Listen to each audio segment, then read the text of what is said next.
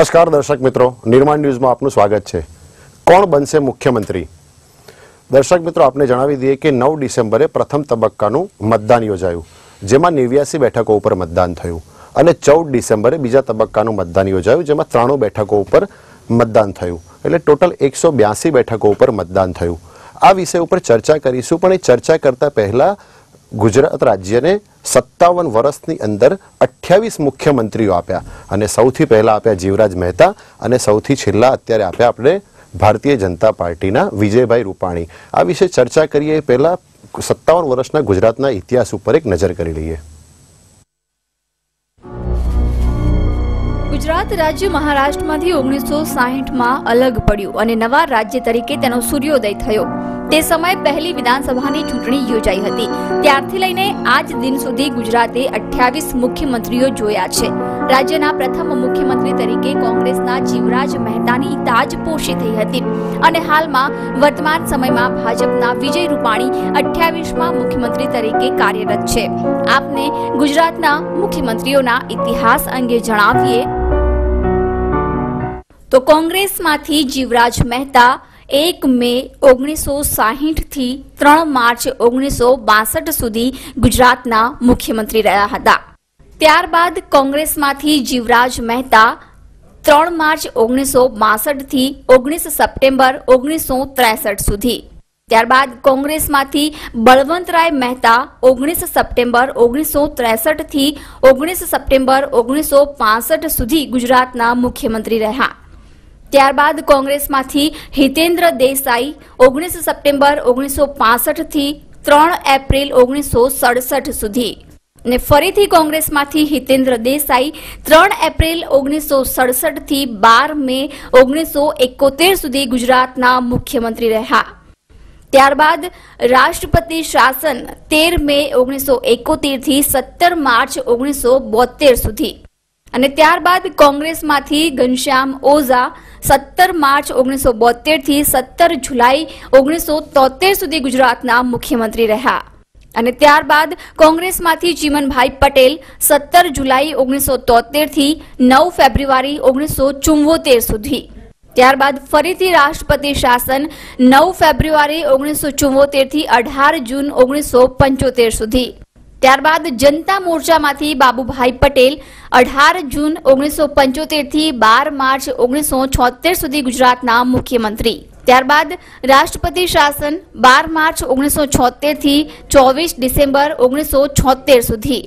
ત્યારબાદ કોંગ્રેસમાંથી માધવસિંહ સોલંકી ચોવીસ ડિસેમ્બર ઓગણીસો છોતેરથી દસ એપ્રિલ ઓગણીસો સિત્યોતેર સુધી ગુજરાતના મુખ્યમંત્રી રહ્યા. ત્યારબાદ જનતા પાર્ટીમાંથી બાબુભાઈ પટેલ અગિયાર એપ્રિલ ઓગણીસો સિત્યોતેરથી સત્તર ફેબ્રુઆરી ઓગણીસો એંસી સુધી. ત્યારબાદ રાષ્ટ્રપતિ શાસન સત્તર ફેબ્રુઆરી ઓગણીસો એંસીથી લઈ છ જૂન ઓગણીસો એંસી સુધી. ત્યારબાદ કોંગ્રેસમાંથી માધવસિંહ સોલંકી સાત જૂન ઓગણીસો એંસીથી દસ માર્ચ ઓગણીસો પંચ્યાસી સુધી. ફરી એકવાર કોંગ્રેસમાંથી માધવસિંહ સોલંકી અગિયાર માર્ચ ઓગણીસો પંચ્યાસીથી છ જુલાઈ ઓગણીસો પંચ્યાસી.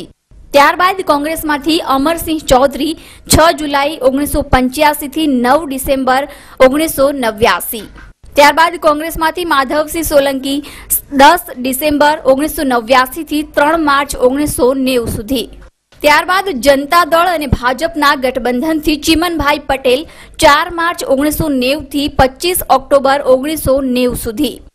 ત્યારબાદ જનતા દળ ગુજરાતનું કોંગ્રેસ ગઠબંધન સાથે ચીમનભાઈ પટેલ પચીસ ઓક્ટોબર ઓગણીસો નેવથી સત્તર ફેબ્રુઆરી ઓગણીસો ચોરાણું સુધી. ત્યારબાદ કોંગ્રેસમાંથી છબીલદાસ મહેતા સત્તર ફેબ્રુઆરી ઓગણીસો ચોરાણુંથી તેર માર્ચ ઓગણીસો પંચાણું સુધી ગુજરાતના મુખ્યમંત્રી રહ્યા. ત્યારબાદ ભાજપમાંથી કેશુભાઈ પટેલ ચૌદ માર્ચ ઓગણીસો પંચાણુંથી એકવીસ ઓક્ટોબર ઓગણીસો પંચાણું સુધી. ત્યારબાદ ભાજપમાંથી સુરેશ મહેતા એકવીસ ઓક્ટોબર ઓગણીસો પંચાણુંથી ઓગણીસ સપ્ટેમ્બર ઓગણીસો છન્નું સુધી ગુજરાતના મુખ્યમંત્રી રહ્યા. ત્યારબાદ રાષ્ટ્રપતિ શાસન ઓગણીસ સપ્ટેમ્બર ઓગણીસો છન્નુંથી ત્રેવીસ ઓક્ટોબર ઓગણીસો છન્નું સુધી. ત્યારબાદ રાષ્ટ્રીય જનતા પાર્ટીમાંથી શંકરસિંહ વાઘેલા ત્રેવીસ ઓક્ટોબર ઓગણીસો છન્નુંથી સત્યાવીસ ઓક્ટોબર ઓગણીસો સત્તાણું સુધી. ત્યારબાદ ફરીથી રાષ્ટ્રીય જનતા પાર્ટીમાંથી દિલીપ પરીખ અઠ્યાવીસ ઓક્ટોબર ઓગણીસો સત્તાણુંથી ચાર માર્ચ ઓગણીસો અઠ્ઠાણું સુધી. ત્યારબાદ ભાજપમાંથી કેશુભાઈ પટેલ ચાર માર્ચ ઓગણીસો અઠ્ઠાણુંથી છ ઓક્ટોબર બે હજાર એક સુધી ગુજરાતના મુખ્યમંત્રી રહ્યા. ત્યારબાદ ભાજપમાંથી નરેન્દ્ર મોદી સાત ઓક્ટોબર બે હજાર એકથી બાવીસ ડિસેમ્બર બે હજાર બે સુધી. ફરી એકવાર ભાજપમાંથી નરેન્દ્ર મોદી બાવીસ ડિસેમ્બર બે હજાર બેથી બાવીસ ડિસેમ્બર બે હજાર સાત સુધી ગુજરાતના મુખ્યમંત્રી રહ્યા. ત્યારબાદ ભાજપમાંથી ફરી એકવાર નરેન્દ્રભાઈ મોદી ત્રેવીસ ડિસેમ્બર બે હજાર સાતથી વીસ ડિસેમ્બર બે હજાર બાર સુધી ગુજરાતના મુખ્યમંત્રી રહ્યા. ત્યારબાદ નરેન્દ્ર મોદી વીસ ડિસેમ્બર બે હજાર બારથી બાવીસ મે બે હજાર ચૌદ સુધી ગુજરાતના મુખ્યમંત્રી રહ્યા. ત્યારબાદ ભાજપમાંથી આનંદીબેન પટેલ બાવીસ મે બે હજાર ચૌદથી સાત ઓગસ્ટ બે હજાર સોળ સુધી ગુજરાતના મુખ્યમંત્રી રહ્યા.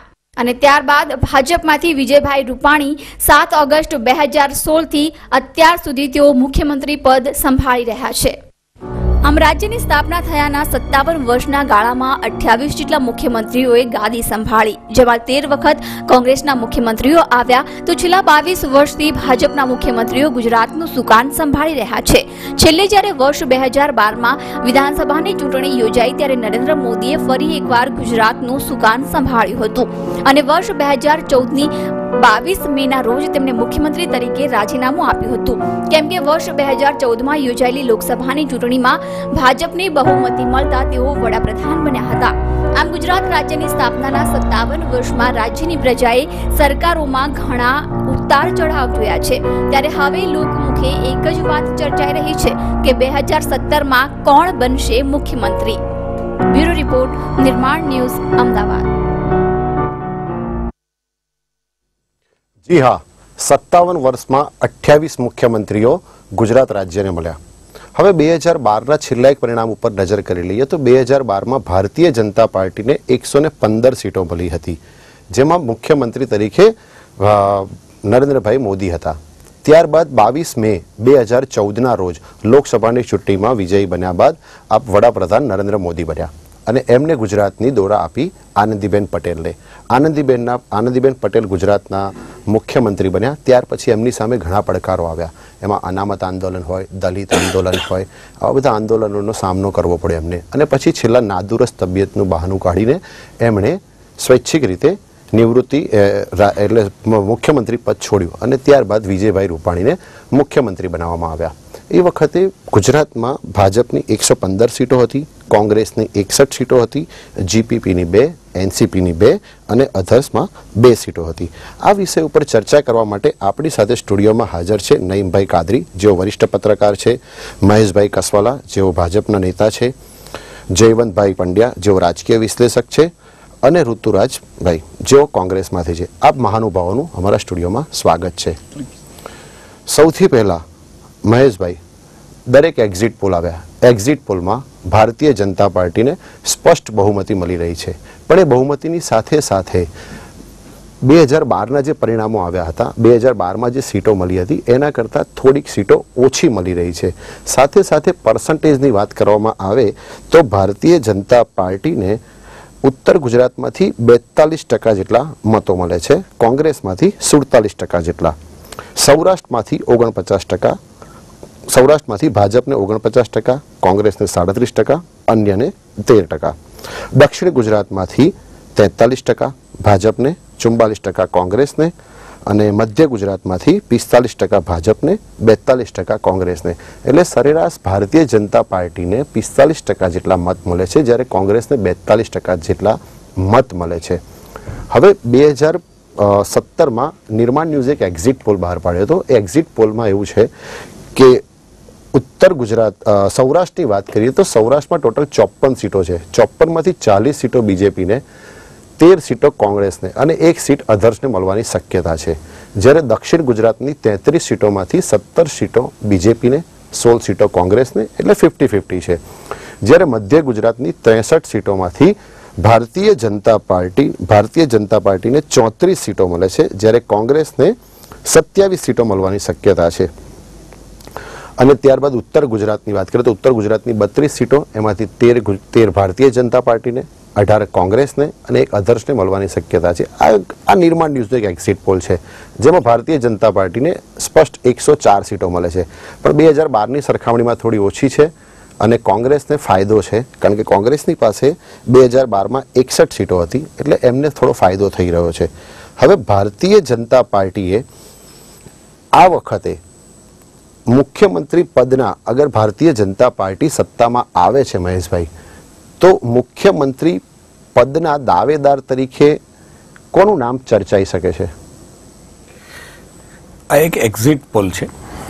અને મોટા ભાગના એક્ઝિટ પોલ કહું અથવા તો બધા જ એક્ઝિટ પોલે એક વાત નક્કી કરી છે કે ભારતીય જનતા પાર્ટીની સરકાર બની રહી છે.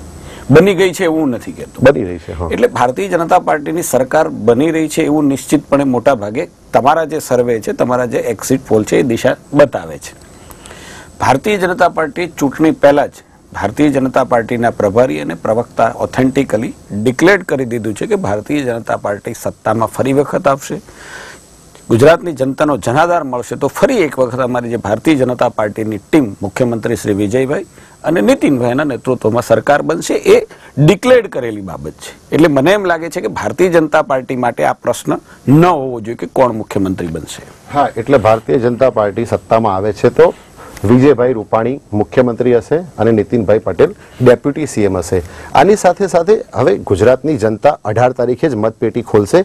ત્યારે જ ગુજરાતનો સરતાજ કોણ ગુજરાતનો તાજ કોને આપે છે એ નક્કી થશે. એટલે ગુજરાતની અંદર ફરીથી નવસર્જન આવશે કે પુનરાવર્તન થશે? એ વાત અઢાર તારીખે જ્યારે પરિણામ આવશે ત્યારે જ ખબર પડશે. પણ આની સાથે સાથે નિર્માણ ન્યૂઝે એક સર્વે પણ કર્યો છે. એ સર્વેની અંદર એવું છે કે લોકો ગુજરાતની જનતા કોને ગુજરાતના મુખ્યમંત્રી પદ તરીકે બેસાડવા માંગે છે એવો એક સર્વે કર્યો છે અને લોકો શું કહે છે આપણે સાંભળીએ ગુજરાતની જનતાને. વિધાનસભાની ચૂંટણી પૂર્ણ થઈ છે. તમે મુખ્યમંત્રી તરીકે કોને જોવા માંગો છો? વિજય રૂપાણી સાહેબ છે અને અમિત સાહેબ છે એ લોકોને હું જોવા માંગુ છું. વિધાનસભાની ચૂંટણી પૂર્ણ થઈ છે. તમે ગુજરાતના મુખ્યમંત્રી કોને જોવા માંગો મુખ્યમંત્રી વિજય રૂપાણીને જોવા માંગીએ છીએ અત્યારે. વિજય રૂપાણીએ મેન સરસ કામ કર્યું છે અને અમારા માટે સારું છે. ગુજરાત માટે સારું છે. વિધાનસભાની ચૂંટણી પૂર્ણ થઈ છે? અમિત શાહ સાહેબને. અમિત શાહ સાહેબને. એ જ બેસ્ટ કામ કરે છે ને? આખું જે સેટિંગ કરે છે ગુજરાતની અંદર એ જ કરે છે. વિધાનસભાની ચૂંટણી પૂર્ણ થઈ ગઈ છે. રાજ્યમાં મુખ્યમંત્રી માંગો મુખ્યમંત્રી તરીકે આજ હાલમાં તો શ્રી વિજયભાઈ રૂપાણી બહુ સારું કામ કરી રહ્યા છે. અને બહુ સ્ટ્રોંગ માણસ છે નિર્ણયો લેવા માટે. હું એવું માનું છું કે રૂપાણીભાઈને કન્ટિન્યુ કરવા જોઈએ એઝ એ સીએમ વિધાનસભાની ચૂંટણી પૂર્ણ થઈ છે. તમે મુખ્યમંત્રી કોને જોવા માંગો આનંદીબેન પટેલને. આના કાર્યકાળ બહુ સારા હતા. વિજય રૂપાણીથી પહેલાં આનંદીબેન પટેલ સારા હતા. અને મુખ્યમંત્રી આનંદી પટેલ હોય તો સારું હોય આપણા માટે. વિધાનસભાની ચૂંટણી પૂર્ણ થઈ ગઈ છે. સીએમ તરીકે તમે કોને જોવા માંગો વિજય રૂપાણી ચાલે બરાબર છે. પણ એ પરફેક્ટ માણસ નથી. એની જગ્યાએ બીજો કોઈ સારો માણસ મૂકે તો વધારે સારું. વિધાનસભાની ચૂંટણી પૂર્ણ થઈ છે. તમે મુખ્યમંત્રી તરીકે કોને જોવા માંગો છો? વિજય રૂપાણી. વિજય રૂપાણી એક સારામાં સારા આદર્શીય માણસ છે. કે જે આટલા ઘણા ટાઈમથી એમને સારો એવો અનુભવ છે અને સારી રીતે સંભાળી શકે અને ગુજરાતનું ગૌરવને વધારી શકે. એવા એક સારામાં સારા કેન્ડિડેટ આપણે કહી શકાય જે આપણા ગુજરાત માટે સૌથી સારામાં સારા છે. વિધાનસભા વિધાનસભાની ચૂંટણી પૂર્ણ થઈ છે. તમે કેવા મુખ્યમંત્રી છો? એટલે કેવા મુખ્યમંત્રી હોવા જોઈએ? વડોદરા અને ગુજરાત ખાતે જો આપણે વિચારતા હોઈએ તો આપણે યોગી જેવા મુખ્યમંત્રીની આશા રાખીએ જે કદાવર છે બોલવામાં છે સમાજને કામ કરી શકે બધાને લઈને ચાલી શકે અને કડક કામ કરી શકે. દેશમાં કાનૂનનું રાજ કરી શકે એવા લોકોની જરૂર છે. અમારા મત પ્રમાણે આજની તારીખે થોડા કડકમાં નીતિનભાઈ જેવા માણસની જરૂર છે. વિધાનસભાની ચૂંટણી પૂર્ણ થઈ છે. તમે સીએમ તરીકે કોને જોવા માંગો હવે જે છે એ જ આવશે રૂપાણી. રૂપાણી સિવાય તો બીજો કોઈનું છે નહીં. અને અત્યારે ભાજપમાં જોવા જાવ તો વધુ મતી એમની જ છે. ને એ જ આવશે. સો ટકા એમનો છે. હું ઈચ્છું છું બીજેપીની સરકાર બને અને વિજય રૂપાણી ચીફ મિનિસ્ટર બને. ઓપિનિયન પોલ મુજબ તો એવું લાગે છે કે બીજેપીની સરકાર બનશે. બાકી તો અઢારમી એ મતપેટી ખુલ્યા પછી જ ખબર પડે. બેનનું શાસન સારું જ હતું. ઓલરેડી સારું હતું. હાર્દિકભાઈએ એમને ડિસ્ટર્બ કર્યા એટલે બેનને જવું પડ્યું. બેન ફરી જે નેતૃત્વ આપે ફરી પાછું એ ભાજપ ઊભું કરે તો જોવાની મજા આવે. मेरे हिसाब से बीजेपी के शासन के हिसाब से विजय रूपाणी जी को सीएम बनना चाहिए અને છેલ્લા પાંચ વર્ષથી જેમ અ, વિજયભાઈ રૂપાણીએ અ, શાસન ચલાવ્યું છે એ હિસાબે હું વિચારીશ કે આ વખતે પણ અ, વિજયભાઈ રૂપાણી જ સીએમ તરીકે ચૂંટાય અને આવી જાય આ વખતે નીતિન પટેલનો ચહેરો મુખ્યમંત્રી બનેગા અને હું એ આ બધું ડેવલપમેન્ટ ને બધું જોઉં છું તો એના ઉપરથી હું એવું ઈચ્છું છું કે ફરીવાર રૂપાણી સાહેબ જ આવે અને એ જ ચહેરો આપણો કન્ટિન્યુ રહે હું ઈચ્છું છું કે વિજયભાઈ રૂપાણી આ વખતે મુખ્યમંત્રીમાં આવે. અને આગળના મુખ્યમંત્રી પણ વિજયભાઈ રૂપાણી બને એવું હું ઈચ્છું છું.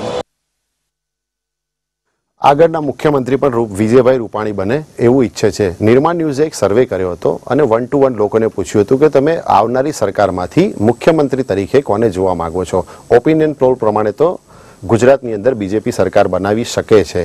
અને એમાં પણ લોકોની એવી ઈચ્છા છે કે વિજયભાઈ રૂપાણી રિપીટ થાય. પણ કંઈક કંઈક જગ્યાએ એવું હતું કે લોકોને એવું કહેવું હતું કે આનંદીબહેન પણ મુખ્યમંત્રી તરીકે બહુ જ સારા હતા, બહુ જ સફળ હતા અને બહુ જ સારા કામો એમણે કરેલા છે.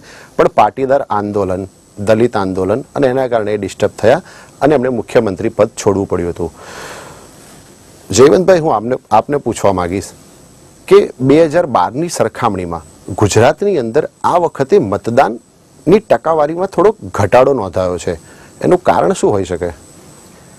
કારણ અનેક હોઈ શકે. એક તો આ વખતે ડલ ચૂંટણી એક રીતે હતી, કોઈ વેવ નહોતો, કોઈ લહેર નહોતી કે જનૂનપૂર્વક જેવી રીતે બે હજાર બાર હોય તો નરેન્દ્ર મોદી માટે એમ કે એને વડાપ્રધાન બનાવવાના છે, એક કેવી વાત અંડર કરંટ હતી. એટલે એ રીતે મતદાન કરવા લોકો નીકળેલા. બે હજાર સાતમાં મોત કા સોદાગર એટલે હિન્દુત્વની આખી વાત હતી. એ સોહરાબુદ્દીન એન્કાઉન્ટરનું વાત હતી. બે હજાર બેમાં પણ હિન્દુત્વની વાત હતી, રમખાણો થયેલા. પરંતુ આ વખતે તમે જુઓ તો બે પક્ષે બળાબળી સરખી હતી પ્રચારની રીતે. એટલે એવું કોઈ લહેર ઉમટવા નહોતી પામી. અને બે પક્ષોએ પ્રમાણમાં જોઈએ તો એવી કોઈ હિન્દુત્વની કે એવી કોઈ ખાસ વાત કરી નહીં. અમુક અમુક મુદ્દાઓ જરૂર ઉઠ્યા. દાખલા તરીકે આર્ક બિશપે પત્ર લખ્યો કે નેશનાલિસ્ટને હરાવો. પછી કોઈક એવો પત્ર પણ સિકંદર યુ પઠાણના નામે ચાલતો હતો કે ભાજપને હરાવો. કારણ કે એણે અહેમદ પટેલ મુસલમાન ઉમેદવાર છે, એને હર- હરાવવા માટે આકાશ પાતાળ એક કરી નાખ્યું ને ધારાસભ્યોને તોડ્યા ને ફોડ્યા ને બધું આવો પત્ર પણ ચાલ્યો અને સામે પક્ષે ભાજપ દ્વારા પણ બે હજાર બેની વાત કરવામાં આવી કે, જામા મસ્જિદમાં જઈને મને અમને માફી માગવાનું કહેવામાં આવે છે. અને એ પછી કોંગ્રેસના ચરણસિંહ સાપરાએ વાત કરી હતી. એટલે આ બધું ચાલ્યું ખરું, પણ લહેર કોઈ નહોતી. અને બીજી તરફ એક નિરાશા પણ ક્યાંક ચર્ચાઓ પણ એટલી બધી થઈને આ વખતે કોઈ ત્રીજો પક્ષ ખાસ કરી દેખાતો નહોતો. અને જે ચર્ચાઓ થઈ કે જે પ્રચાર સભાઓ થઈ એમાં આક્ષેપબાજી એક ભાગ રહ્યો. એટલે એના કારણે જે, અને શહેરી વિસ્તાર છે, એમાં લોકો છે, ટીવી ને એ બધું પ્રચાર સભા, સોશિયલ મીડિયા ચાલતું હોય છે. એટલે એ એના આધારે અને ગામડાના લોકો છે એ પ્રમાણમાં પોતાની સમસ્યાઓના આધારે મત આપવા જતા હોય છે. એટલે એ રીતે જોઈએ તો મતદાન મને લાગે છે થોડુંક ઘટ્યું છે બહુ જાજુ ઘટ્યું નથી. એટલે ત્રણ ટકા જેટલું મતદાન ઘટ્યું છે બે હજાર બારની સરખામણીમાં ત્રણ ટકા જેટલું મતદાન ઘટ્યું છે. નહીં ભાઈ હું આપને પૂછવા માંગીશ કે બે હજાર બારની સરખામણીમાં મતદાન આ વખતે ત્રણ ટકા જેટલું ઓછું ઘટ્યું. આ વખતની ચૂંટણીમાં કોઈ જગ્યાએ વિકાસની વાતો વિકાસની વાતો કરતા વંશવાદની વાતો, જાતિવાદની વાતો, ધર્મની વાતો અને આવા બધા મુદ્દાઓ ચાલ્યા. ગુજરાતમાં કેટલો વિકાસ થયો છે, આવનારી સરકાર આવશે તો કેટલો વિકાસ કરશે, એવી કોઈ ચર્ચાઓ આ વખતના ચૂંટણી પ્રચારમાં જોવા ના મળી. શું કહેશો આપ? બેઝિકલી હું એવું માનું છું કે મેં ઘણી બધી ચૂંટણીઓ કવર કરી છે પાસ્ટમાં પણ બે હજાર સત્તરની જે ઇલેક્શન હતું, એ બહુ જ મારા માટે તો ખૂબ જ ઇન્ટરેસ્ટિંગ હતું. ઇન્ટરેસ્ટિંગ ઇન ધ સેન્સ કે ફોર ધ ફર્સ્ટ ટાઈમ આપ જોશો કે એવા મુદ્દાઓ હતા ફોર એક્ઝામ્પલ ઉનામાં જે થયું દલિત કાંડ, અને એક બહુ જ ઇન્ટરેસ્ટિંગ મુદ્દો હતો. પછી ગુજરાતની અંદર આખું જે પટેલ આંદોલન થયું, પાટીદાર સમાજનું, એ મારા ખ્યાલથી એવું આંદોલન કદાચ નવનિર્માણના સમયે ચિમનભાઈની સરકાર હતી ને ત્યારે થયું, એક એ પ્રકારનું આંદોલન થયું. એ આંદોલન દક્ષિણ ગુજરાતમાં, ખાસ કરીને સુરતમાં, ઉત્તર ગુજરાતના ઘણા પોકેટ્સ હતા, સૌરાષ્ટ્રના ઘણા પોકેટ્સ હતા, એ આંદોલનની બદૌલત એવું થઈ ગયું કે ભાજપના ઘણા બધા નેતાઓ ત્યાં જઈ પણ નહીં શક્યા. ગયા વર્ષે અમિતભાઈએ સુરતમાં એક સભા કરી. એમણે એ બિકોઝ ઓફ ધેટ આંદોલન, એમણે એ સભાને ચાર મિનિટમાં પોતાનું વક્તવ્ય બંધ કરવું પડ્યું. હવે આ આંદોલનનું શું પરિણામ આવશે, આવનાર દિવસોમાં એ તો આપણને અઢાર તારીખે ખબર પડશે જ. પણ હું માનું છું કે બહુ જ આ ઇન્ટરેસ્ટિંગ ઇલેક્શન હતું ગુજરાતનું બે હજાર સત્તરનું. બે હજાર સત્તરનું ઇન્ટરેસ્ટિંગ બુલેટિન હતું. અને ઋતુરાજભાઈ આપને પણ હું પ્રશ્ન પૂછવા માંગીશ કે રાહુલ ગાંધીએ ગુજરાતની અંદર આટલી બધી સભાઓ કરી. બરાબર? છેક સુધી નવસર્જનની વાતો કરી. આ નવસર્જનમાં નવસર્જનમાં રાહુલ ગાંધી ક્યાં સુધી પહોંચ્યા? અને ગુજરાતની જનતાને ગુજરાતની જનતાને એમને કેટલો પ્રેમ મળ્યો? આ વિશે ચર્ચા કરીશું, પણ તે પહેલાં લઈશું એક નાનકડો બ્રેક